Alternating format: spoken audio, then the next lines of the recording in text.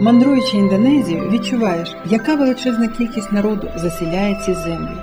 170 мільйонів індонезійців тільки на острові Ява проживає майже 100.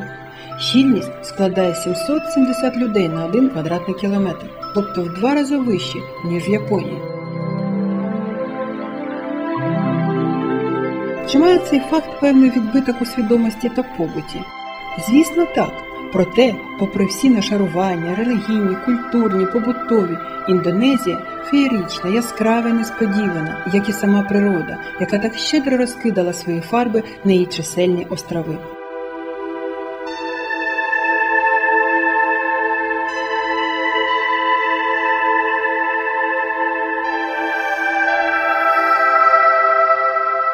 Іноді складається враження, що в цій країні все виставлено на показ, що зовсім не існує навіть усвідомлення приватного життя. І це деякою мірою так, адже навкруги стільки народу, але саме це і спонукає до дружнього співіснування, до доброго ставлення та толерантності.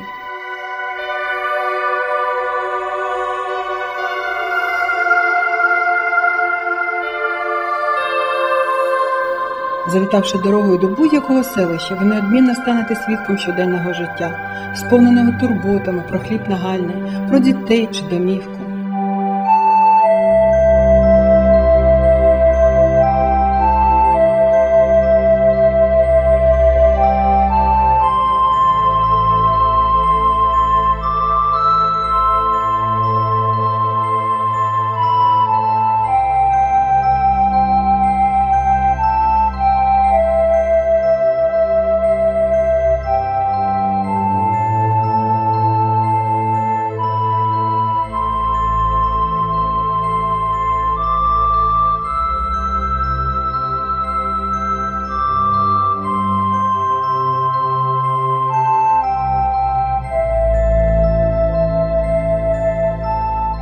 Індонезія вважається найкрупнішою мусульманською країною, проте тут не відчувається монополізації духовного життя. Під поверхневими шарами збереглися нашарування попередніх культур та вірувань. Скрізь проглядається прояв буддизму, індуїзму, а головне найдавнішого культу природи, який індонезійці сповідували на протязі тисячоліть. Відомий індійський поет Рабіндранат Тагор, відвідавши Індонезію, сказав Я всюди бачу Індію, але не впізнаю її. Цей вислів можна взяти в якості ключа до розуміння країни.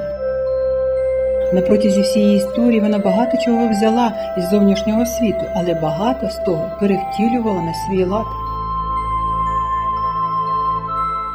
Багато архітектурних споруд мають форми ступа, а це, як на мене, втілення поетичного образу сільськогосподарських терас на схилах індонезійських пагорбів, селяни, подібні буддистам, що схиляються перед своїм Будою, але схиляються вони перед годувальницею землею, вклоняючись її родючості і сподіваючись на винагороду за свій тяжкий труд.